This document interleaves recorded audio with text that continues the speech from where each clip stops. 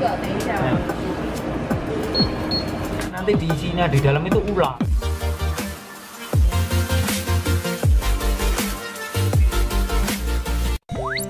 Halo teman-teman, bersama lagi dengan saya Cak Caparin di channel TK Taiwan Saya memberikan informasi tentang aplikasi belanja online Sebelum kita lanjut videonya, jangan lupa saya ingatkan Subscribe-nya bu, karena subscribe itu gratis, oke? Okay?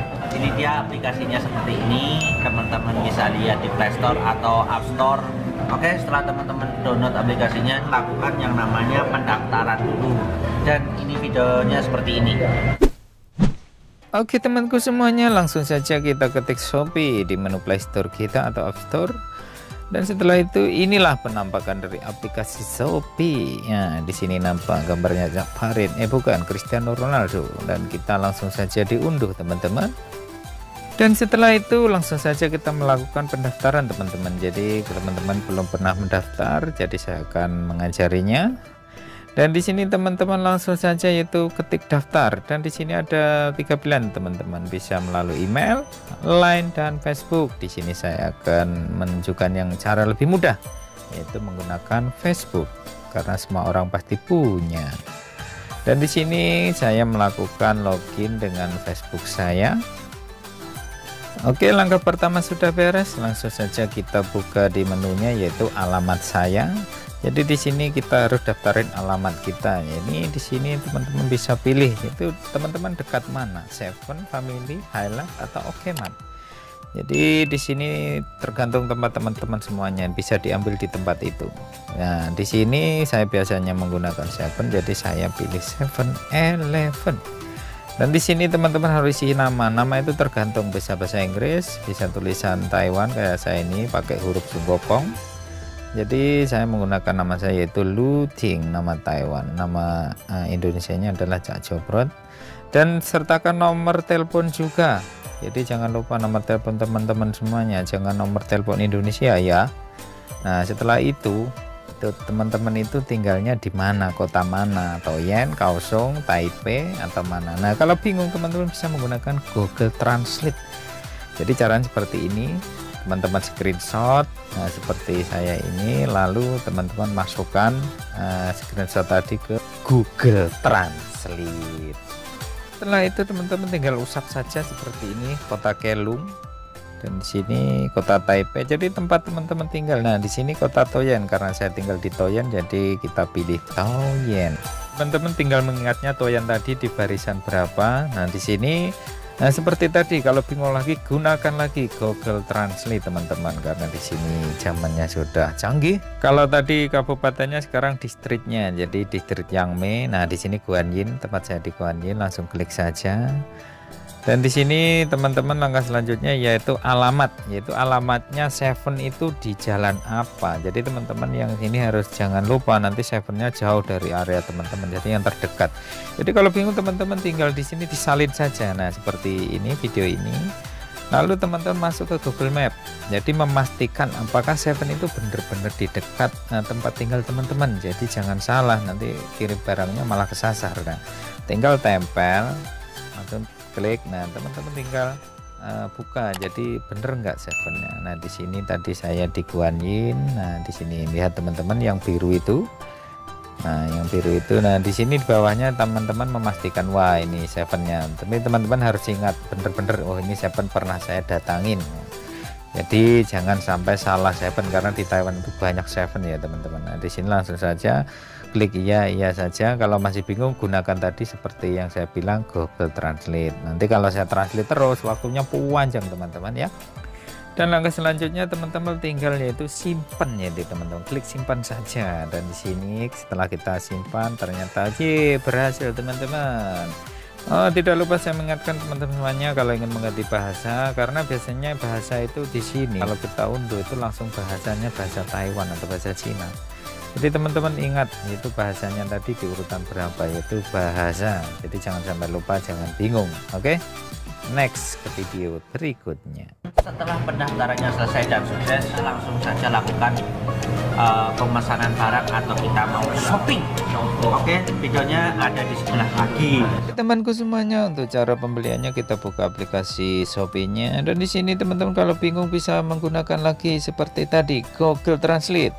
Jadi gini cara yang mudah untuk mengganti huruf Indonesia ke Cina, teman-teman. Jadi di sini kita coba saja yaitu uh, kita ketik yaitu celana dalam, teman-teman, untuk uh, melakukan pengecekan. Jadi kita salin ke bahasa Cina atau Sunggokong dan di sini namanya Neiku atau bisa disebut celana dalam. Langsung saja kita masuk ke uh, shopee tadi, tinggal kita tempel dan jebret Nah, di sini muncul teman-teman aneka celana dalamnya keluar. Nah, jadi teman-teman bisa terhibur. Dan di sini teman-teman kalau melakukan pemesanan nanti eh, bisa. Dan di sini eh, tujuan saya bukan celana dalam, teman-teman. Jadi tujuan saya di sini akan membeli sesuatu yaitu Cak Parin tadi suruh membeli susu. Jadi di sini teman-teman bisa menggunakan ejaan bahasa Inggris tapi dengan merek yang sudah tenar kalau tidak bisa menggunakan seperti tadi Google Translate dan di sini susunya adalah Nitrotech jadi untuk penambah tinggi badan dan kegemukan caparin karena kena busung lapar jadi saya disuruh memesan satu. Nah, di sini saya akan memesan yang uh, ukuran sedang teman-teman. Jadi harganya adalah 1899 langsung saja klik beli sekarang. Jadi di bawah itu ada tulisan beli sekarang. Dan setelah itu teman-teman yaitu pilih rasa. Dan di sini karena hurufnya seperti tadi sunggokong gunakan Google Translate lagi. Dan kalau sudah tinggal klik saja teman-teman dan di sini teman-teman tinggal cek yaitu di sini ada tulisan check out dan di sini teman-teman klik saja dan di sini langkah terakhir yaitu tinggal buat pesanan mudahkan caranya giliran teman-teman mencobanya. A few moments later. Oke teman-teman, sekarang kita mau ngambil online yang kemarin kita pesan. Jadi setelah daftar kita harus coba beli barang. Mungkin teman-teman bisa coba yang murah dulu. Kalau datang tergantung alamat tadi di mana. Jadi Seven mana, Highlight mana, family mana. Jadi tempat saya mau ngambil yaitu di belakangnya adalah Seven. Jadi barang kita kalau sampai di sini ini ada tulisan diterima. Jadi dikemas Nah kalau diterima gini tandanya udah yang kita pesan udah datang. Oke mas, monggo langsung. Oke.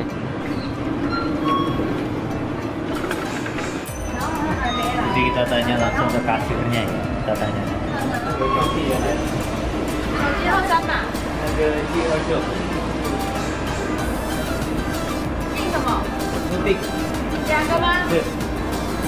Oke, jadi kita tanya, kita di sini kita ditanya yaitu tiga nomor kita dari belakang. Hmm. Jadi kita, terus dia tanya namanya siapa.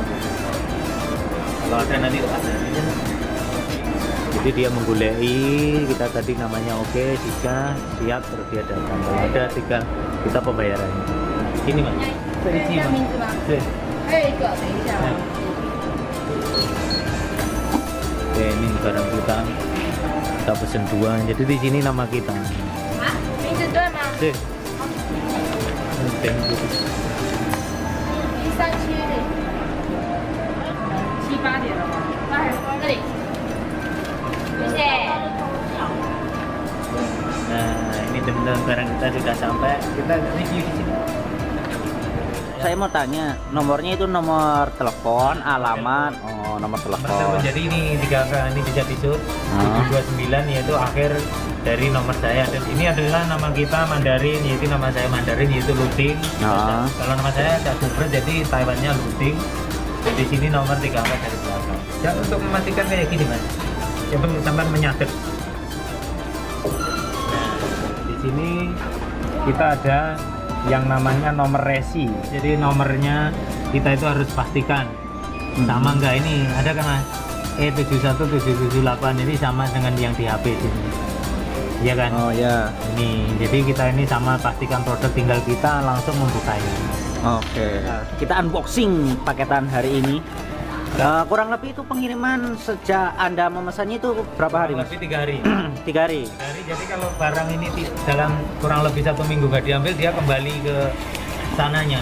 Oh, kembali ke yang resellernya. Iya, tapi jangan sampai kita begitu nanti kita bisa akun kita di blok. Oh, gitu. Nggak pakai pisau kayak gigi mas. pakai untung Oh, untuk. Nah, teman-teman oh, Oh. jadi ini kemarin kita pesen ini iya kan Mas? Ya. Nah, datangnya ini kita harus pastikan produk itu sama sama kan Sama sama sama nah, sama. ini yang dipesan dan Ah. ini barangnya jadi kita kalau tidak cocok kita bisa komplain kita kembalikan barangnya Oh, jadi gitu. teman-teman nanti kalau datang barang harus langsung dibuka Hmm. Eh, takutnya nanti di isinya di dalam itu ular Oh, ulah. Nah, kayak gitu jadi rasa kita ya ada milik cokolate jadi di sini kita juga ditulis milik ke cokolate Gimana, Mas? Pengucapannya? milik ke cokolate Oh. Oke, sekian dulu video kali ini. Saya Caparin dan kameramen di belakang. Oke, sampai ketemu lagi di video selanjutnya. Salam satu negatif. See you next time. Bye bye.